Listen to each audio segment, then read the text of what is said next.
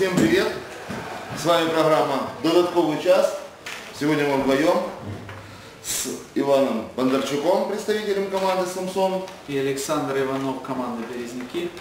И мы начинаем анализ 21-го тура христианской футбольной лиги. Высшей христианской футбольной лиги. Первая игра «Благодать легенда». Я на ней был.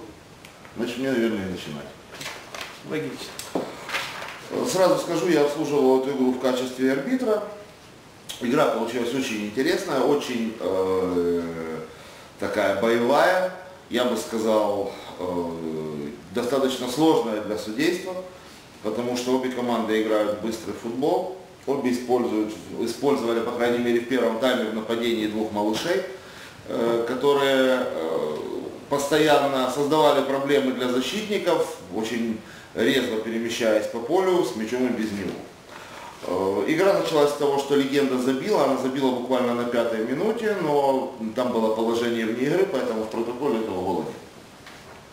Затем счет открыла благодать, Сухоцкий выиграл борьбу у защитника, сбросил, партнер его Линиченко забил гол. Легенда очень быстро отыгралась. Вообще следует сказать, что у команд были проблемы с составом, у Легенды не было четырех человек. Благодать, и это уже не первый раз в этом сезоне была без вратаря. На воротах стояли поочередно полевые игроки. Мы посмеялись, что не по голу, конечно, но один получил два мяча, и второй там, а второй ничего не получил. Нет, три мяча все один и тот же пропустил. Э, серый стоял на воротах, серый. Вот, значит, счет стал 1-1, потом э, Благодать забила два мяча, похожие моменты, тоже маленькие юркие нападающие убегают от рослых защитников легенды, и на перерыв команды ушли со счетом 3-1. После перерыва легенде сразу практически удалось сравнять, сократить разрыв в счете, и на 73-й минуте ударом со штрафного они забили третий гол. Последние 20 минут, 15-20 минут проходили в равной борьбе. Э, благодать выпустила Серого в поле, пытаясь усилить нападение. В общем-то особо ничего из этого не получилось. Э, уже в добавленное время был момент у Десюка, но он попал прямо в голкипера. Так что боевая ничья 3 Ну, я, Саша, даже не знаю, что можно добавить к такому разлогому описанию. Единственное, наверное, скажу, что легенда действительно впечатляет. Э, да, хорошо.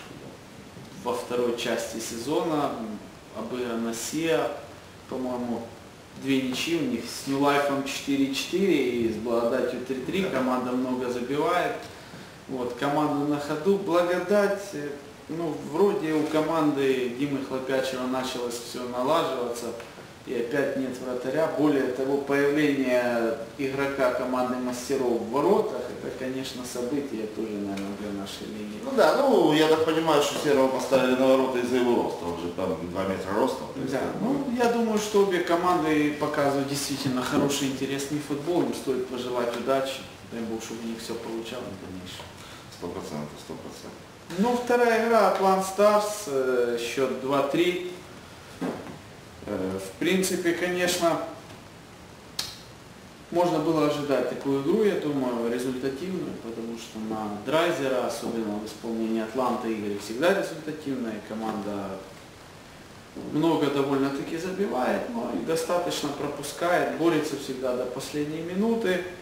Ну, я вот помню игру первого круга, там э, Атлант выигрывал 3-2 и пропустил два мяча на 89-90 минуте и проиграл Старсу 4-3. Здесь э, Старс выигрывал, по-моему, 2-0, да, по ходу игры. Потом 2-2 и за 3 минуты до конца Старс вырвал победу, которая, кстати, первая после летнего перерыва. Поэтому можно поздравить ребят со Старса, но в Атланте я не сомневаюсь, что эта команда поднимет голову, команда с характером, команда очень мощная, команда такая единый организм, поэтому думаю, что в принципе, наверное, чуть-чуть класса у Старса побольше, поэтому здесь, наверное, это и сказал. Кстати, стоит отметить, что у Старса на, на воротах стоял тоже полевой игрок, Дима Руженцев. Но Раз Старс выиграл, значит неплохо. Фартовый вратарь, да, Мы, ставить дальше. Кстати, по первой игре ты заметил, что в этом туре мы лишились чемпиона? Да, возможно, возможно. То есть еще перед прошлым туром Благодать была чемпионом. Вот как в прошлом туре она сыграла в ничью, а Самсон выиграл, то разрыв между командами сейчас уже составляет 17 очков за 5 туров до конца. Ну, несмотря на то, что там есть игра в запасе, это уже роли никакой не играет, потому что у Самсона она тоже есть. Поэтому, в принципе, уже можно говорить о том, что у нас ничего. А кто будет чемпионом, мы пока. Ну, еще 6 туров. Да, да, да. Ну, это у вас 6, у остальных 5. Да.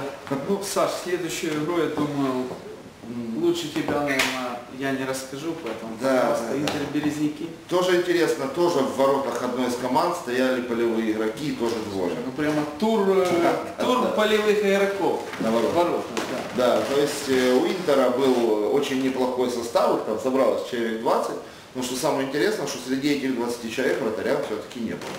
Точнее, он был, он был травмирован, э, еле ходил, его они в итоге поставили его на ворота во втором тайме, потому что в первом они поставили э, полевого игрока, почему-то Интер пошел по другому пути, не так, как Благодать, он поставил самого маленького. То есть там вратарь был где-то метр Наверное, 60 чтобы быстро за мячом ворота. ну да, но как бы Березники, в общем, не очень удачно эту игру сыграли. Э, Даже сложно, сложно объяснить почему. Ну, наверное, во-первых, очень сильно мешал ветер, против которого Березники играли в первом тайме. Если знаете, кто, кто выходил в воскресенье на улице, то был достаточно сильный ветер. И первый тайм Березники играли против ветра, и Интер имел э, гигантское преимущество в скорости. То есть э, любая позиционная ошибка защитника, и дальше уже догнать нападающего было просто невозможно. То есть к 36-й минуте Интер вел 3-0, все голы близнецы, одинаковые, прорыв по левому флангу с участием Кутового обычно. И потом идет розыгрыш лишнего и гол. Э, Где-то вот на 36-й минуте Березники, разводя с центра поля, ударили по воротам, попали в девятку, вратарь э, отбил мяч на угловой, с этого углового Березники забили один гол, тут же забили гол со штрафного, счет стал 3-2 и прозвучал свисток на перерыв. После перерыва минут 15, наверное, было преимущество Березняков, к сожалению, для, для нас, к сожалению. В створ ворот толком мы так и не попали, в основном угловые, навесы. А потом прошла контратака и сбили игрока Интера в штрафной, пенальти 4-2, ну и как бы было все уже ясно. Новый судья дебютировал, Кузнецов. Кузнецов Алексей. Э, В общем, оставил неплохое впечатление. Арбитр обслуживает матчи Пермского города. Оставил очень, очень при- приятное впечатление. Саш, вот у меня два вопроса по этой игре. Вот первый это поле, потому что я был на одной из игр, э, по-моему, Интер играл с Сиа, то есть мне показалось, что за последние два года поле очень сильно ухудшилось. Спасибо. И второе, ну, всех интересует, ну, когда березники уже выйдут зоны вылета. Не знаю, не знаю. Но насчет поля скажу так. Это поле по-хорошему, вот если э, вспомнить годы там Три года назад говорили, что это лучшее поле, Да, когда да. Интер занимал второе место. Вот я вам скажу честно, что по-хорошему можно было спокойно объявлять протест и на это поле не выходить. Потому что поле заросло, трава по щиколотку, э, разметка условно сделана опилками, ее не видно вообще. Мало того, мы ее даже когда пытались фишки, которых было, по-моему, 6 или 7 штук на все поле, это очень мало, прямо скажем.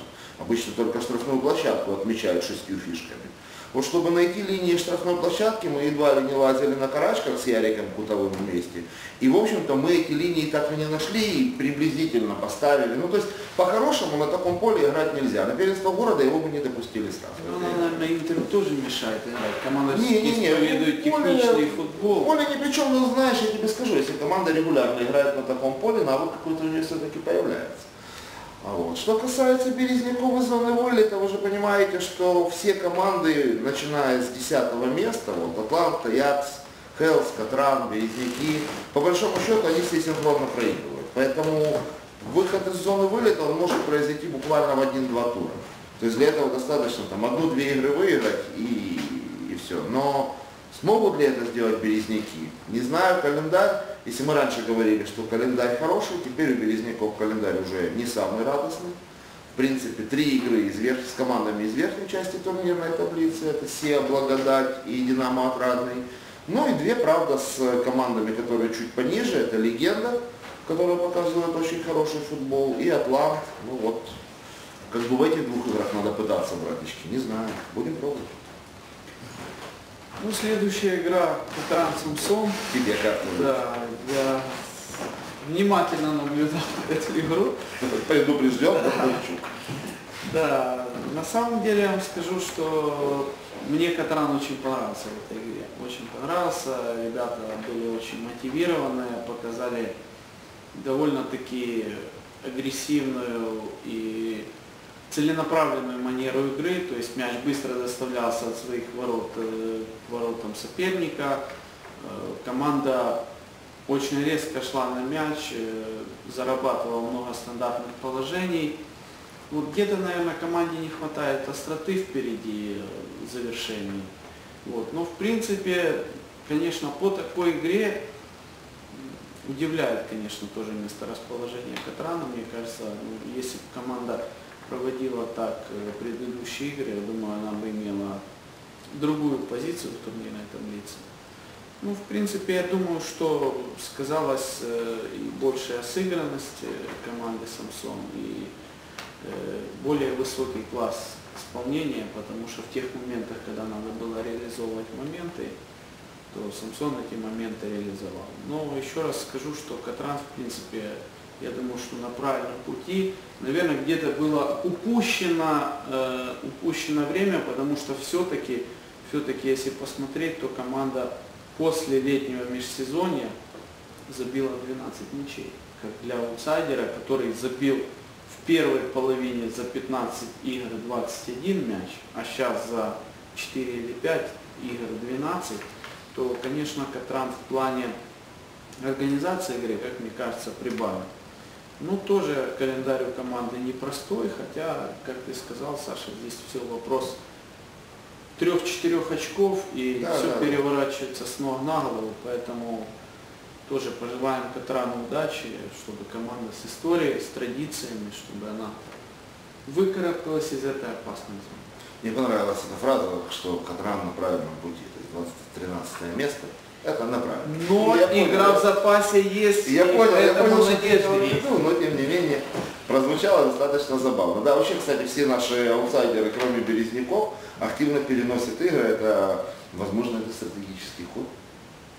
Ну, я тебе скажу, что, возможно, в конце можно ожидать определенных сюрпризов. Ну да, да, это Сюрпризный здорово. вариант. Особенно интересная перенесенная игра в контексте нашего разговора, это Катран Хелс Хелс. Катран. Да, безусловно. Безусловно, это интересная игра, но я скажу, что там еще есть игры перенесенные, в частности, там Sea Health перенесена игра, Э, как бы интересно будет посмотреть, э, когда она будет играться. То есть вполне возможно, что к тому моменту Сия уже очки не нужны будут. Может быть, на это и есть расчет. Ну, Хелса уже получается две А перенесенные. они шагнул вперед сыграли с нами. Ага. То есть поэтому у них одна перенесена.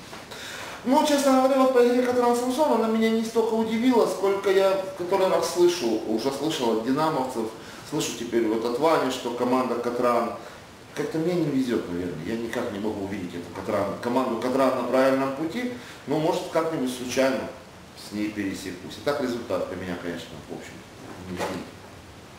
Ну, следующая игра, Саша, Нилаев Динамо. Они играли сразу после нас, я смотрел чуть-чуть, да? Ну, минут 60 я, наверное, смотрел этой игры. Э, В принципе, я скажу, что New Life был довольно-таки в неплохом составе. По-моему, не было только Мороза, все остальные игроки были. Ну, Мороз, Да, и, Мороз. по-моему, вратаря основного не было. да. Вот. э, Динамовцы тоже были с потерями, по-моему, довольно давно не играет Бурмистренко. Ну, я так понял, он играет за какую-то еще команду. Там, то ли на городе, то ли на области. Я что-то об этом слышал. Возможно, да. Не было еще нескольких ребят, по-моему, у Динамо, если я не ошибаюсь. В принципе, динамовцы играли чуть-чуть лучше. И мне кажется, что мне показалось, что игра шла до первого гола. Первый гол был забит секунд за 5-10 до свистка на перерыв. После подачи нападающий динамовцев забил головой. В перерыве состоялся горячий разговор в условной раздевалке Нью Лайфа. долго искали виновного практически до свистка на второй тайм. Нашли? Не знали, нашли ли, но через 5 минут счет стал 2-0 и фактически Можно было игра была сделана. Да. И мне кажется, что где-то, наверное, лучше была организация игры у динамовцев, потому что все-таки моменты возникали в основном возле ворот Нью-Лайфа. Ну и в целом, наверное, команда Life, которая строит свою игру на контратаках, конечно, пометуя первую игру, когда Life выиграл на Борщаговке 4-3, то, наверное, команде все-таки удобнее играть по счету, то есть когда команда выигрывает. Здесь они долгое время как бы играли в нулевую ничью, потом пропустили мяч, надо было где-то перестраиваться, но тут же последовал второй, вскоре и третий. Я думаю, здесь более правильный подход к игре и более высокий класс динамовцев сказался. Вообще, Динамо отрадный, мне вот в этой команде что нравится, а то они все обижаются, что все время ругают. Э, Мне нравится в ней здоровый прагматизм. То есть команда не пытается выигрывать со счетами 8, 0, 9, 0, им это не надо.